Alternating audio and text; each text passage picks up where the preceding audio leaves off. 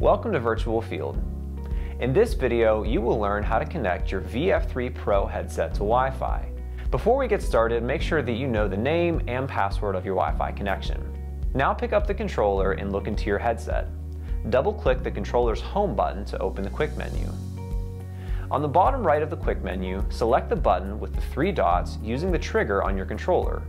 Then select WLAN at the top, which will bring you to the Wi-Fi screen.